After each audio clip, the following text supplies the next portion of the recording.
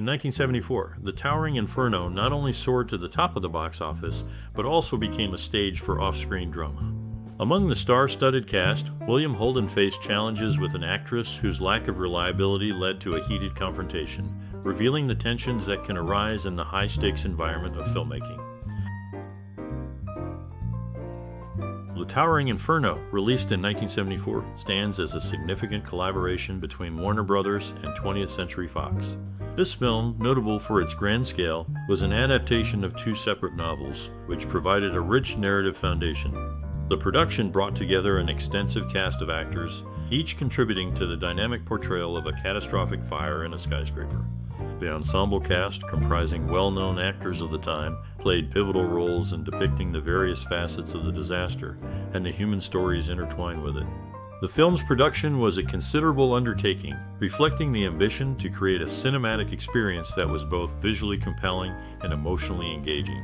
The Towering Inferno not only showcased the technical prowess of the era, but also highlighted the collaborative spirit of two major studios coming together to create a memorable piece of cinema. In the 1974 film, The Towering Inferno, the set design and construction played a critical role in bringing the story to life on screen. The filmmakers employed a combination of miniatures, matte paintings, and partial sets to create the illusion of the towering skyscraper that is central to the film's plot. The promenade deck, which is a key location within the narrative, was one of the most elaborate sets constructed for the movie. It spanned an impressive 11,000 square feet and featured a cloth painting as its backdrop, which added depth and realism to the scenes. This attention to detail in the set design allowed the filmmakers to craft a believable and visually stunning environment that supported the dramatic action of the movie. During the production of The Towering Inferno in 1974, Paul Newman and Steve McQueen experienced a competitive tension that influenced their performances and interactions on set. This rivalry stemmed from a struggle over top billing and equal screen time, leading to a challenging working environment. Newman later reflected on the experience with regret, acknowledging the strain the competition with McQueen placed on their professional relationship. The tension was palpable, affecting not only their personal interactions, but also the dynamic between their characters in the film. Despite this, both actors delivered compelling performances that contributed to the movie's success. However, the off screen rivalry remained a notable aspect of their collaboration on this project.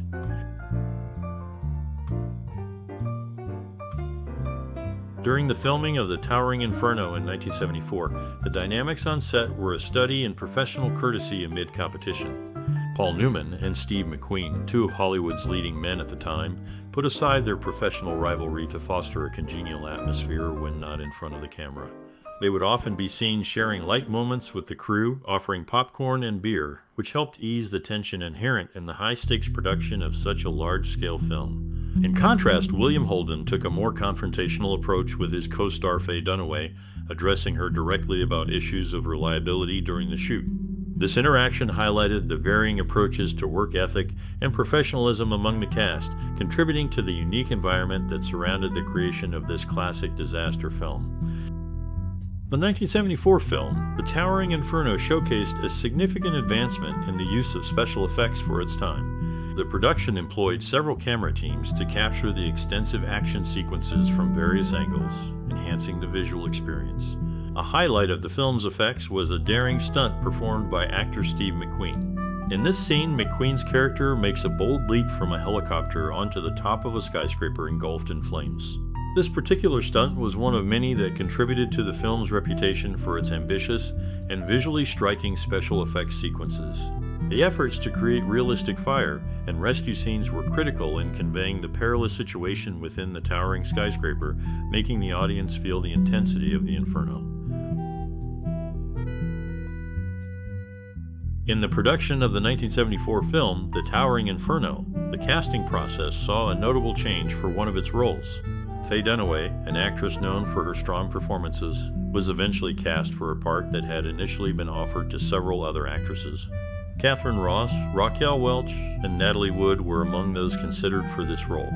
However, Natalie Wood turned down the opportunity, citing her pregnancy and issues with the script as her reasons for not participating in the project.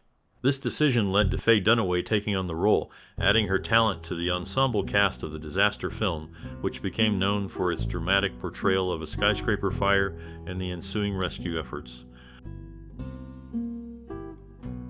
In the production of the 1974 film, The Towering Inferno, the music played a significant role in setting the tone and atmosphere of the movie.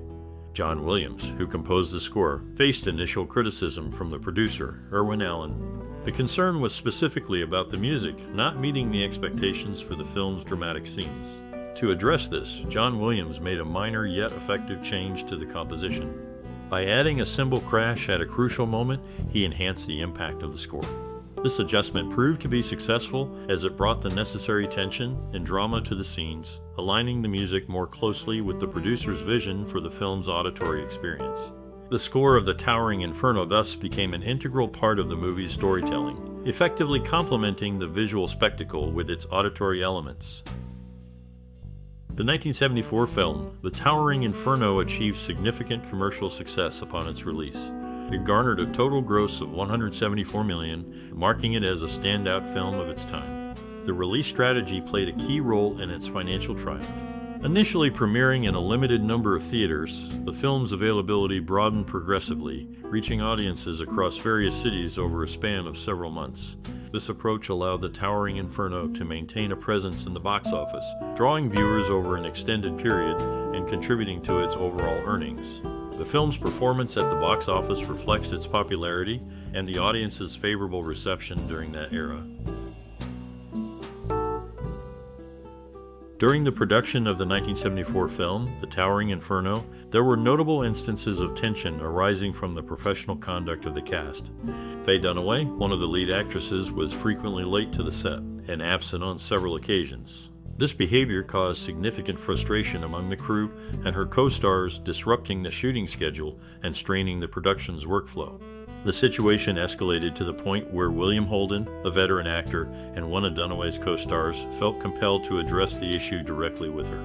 His confrontation is reported to have had a positive outcome, as it led to a noticeable improvement in Dunaway's punctuality and presence on set, thereby helping to alleviate some of the tensions and facilitating a more efficient working environment for the remainder of the filming process. In the 1974 film, The Towering Inferno, Steve McQueen took on a hands on approach to his role, demonstrating a strong commitment to authenticity in action sequences. He performed his own stunts, which included a particularly perilous one where he jumped from a helicopter. This decision was not taken lightly, as it involved significant risk. The production team had reservations about allowing such a dangerous stunt, but ultimately, Steve McQueen's insistence prevailed and the stunt was executed as he had envisioned.